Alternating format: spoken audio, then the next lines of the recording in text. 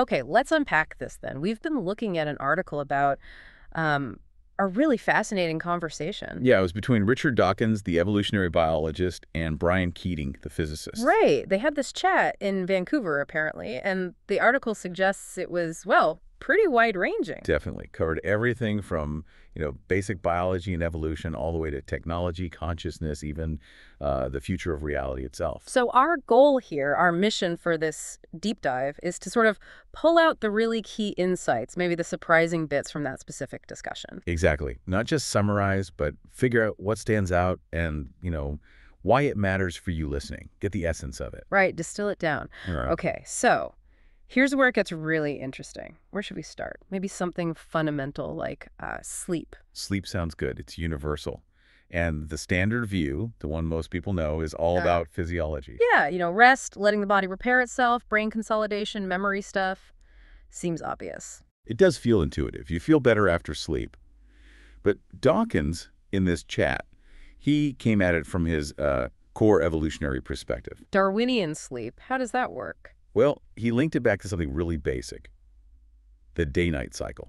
The Earth spinning. Okay.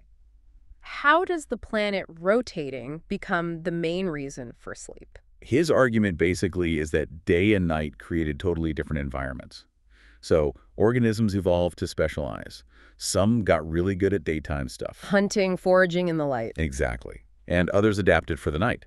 So if you're a daytime creature, night is, well, it's dangerous. Right, your senses aren't attuned, maybe predators are out that are better in the dark. Precisely. So from that evolutionary angle, Dawkins suggests sleep is primarily a strategy to, and I think the article quoted him as saying, avoid mischief. Avoid mischief, so just lay low when you're not well adapted. Yeah, stay out of trouble during the time you're least effective and most vulnerable. Shelter somewhere, stay inactive. Huh.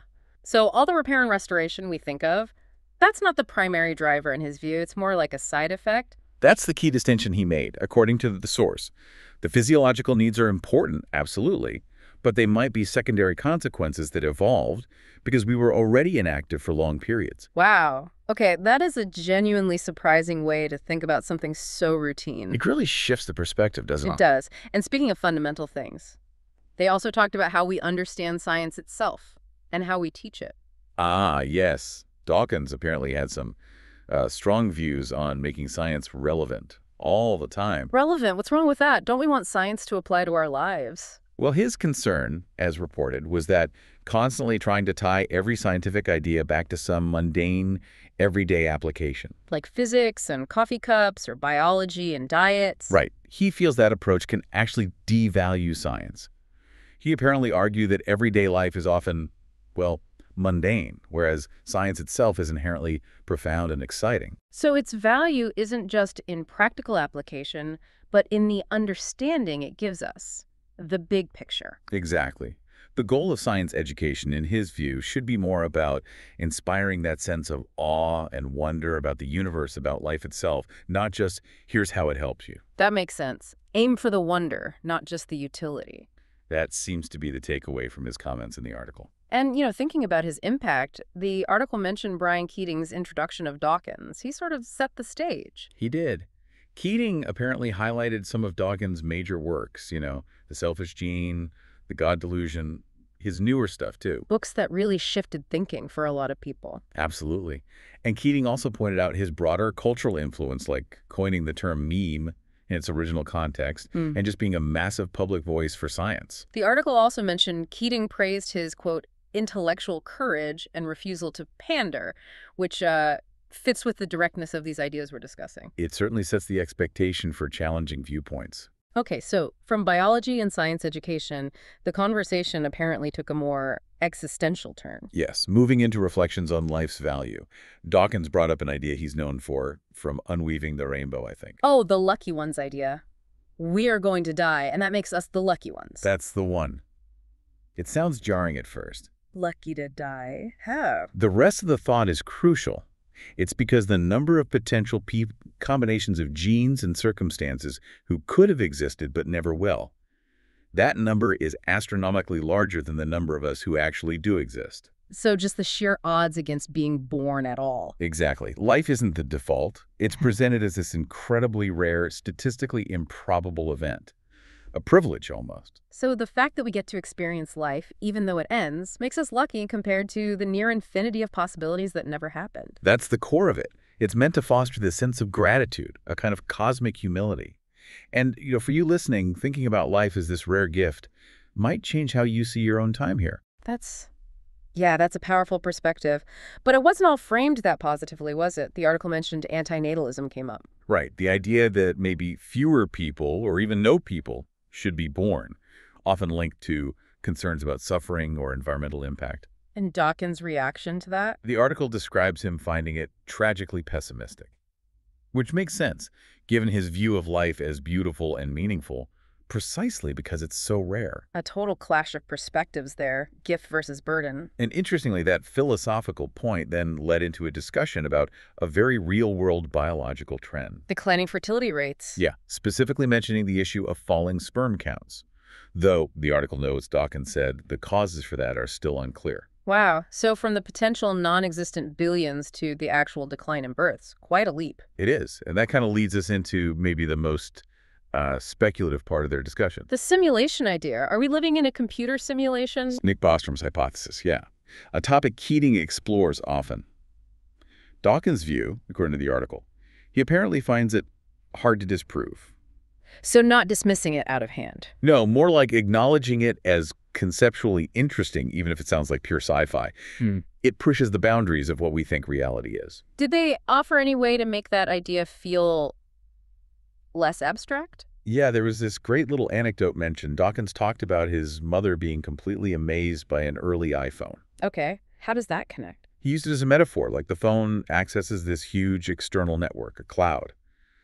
What if our brains, our consciousness, are somehow connected to something bigger, something external, perhaps within a simulated framework? Ah, uh, I see. The brain as an interface to a larger system, potentially. It's a way to think about it, and the article pointed out this naturally led them to admit the, quote, limitations of human understanding when we tackle huge questions in cosmology or neuroscience. We just bump up against what we can know right now. Pretty much. And, uh, Never one to miss a chance for some cultural commentary, Dawkins apparently quipped. If this is a simulation, why are there so many Kardashians? Oh. Okay, that definitely brings it back down to earth. Or maybe questions the simulation's designers? Right, but that simulation idea connects directly to another theme they hit, on the speed of technological change. Makes sense. If we can imagine simulating universes, our tech must be getting pretty wild. Exactly. Keating apparently brought up that classic comparison. Wright brothers' first flight to the moon landing. Only 66 years. It's staggering acceleration. Which inevitably leads to the question. Are we nearing a technological singularity? That point where AI or tech just skyrockets beyond our comprehension or control. Yeah. Where technology might fundamentally alter humanity? Mm. Or even, as the discussion apparently framed it, eclipse biology? Did they answer that? The article suggests it was left as an open question. More about posing the possibility, thinking about AI, post-human futures, that sort of thing. Wow. Okay. So we've gone from like the evolutionary roots of why we yawn and go to bed. All the way to maybe living in a giant computer program run by super advanced beings, while our own tech races towards maybe surpassing us. That is quite the journey, just from one conversation captured in an article. It really shows the richness of their discussion you get these surprising takes on biology, strong views on science education, profound thoughts on life's value. Contrasting views on pessimism, and then these huge, mind-bending ideas about reality and technology. And hopefully you listening have picked up some unique perspectives on these fundamental questions, all drawn from this specific dialogue. Definitely food for thought. It reminds me, the article also mentioned another one of Dawkins' witty lines but yeah. about refusing certain debates. He apparently said something like, that would be very good for your CV, not so good for mine. Ah, vintage Dawkins, a reminder to choose your intellectual battles, maybe. Indeed. So, reflecting on all this, we've got the idea that life is incredibly statistically rare. Uh-huh, a precious anomaly. Paired with the maybe possibility that this rare existence is actually a simulation. A construct, yeah all while our own technology is accelerating towards something potentially transformative, the singularity. So putting those pieces together, the improbable gift of existence, the possibility of it being simulated, the rise of potentially eclipsing technology, how does that maybe shape what you personally decide is important? what you choose to build or explore or just value during your own brief improbable time. That's the question to ponder, isn't it?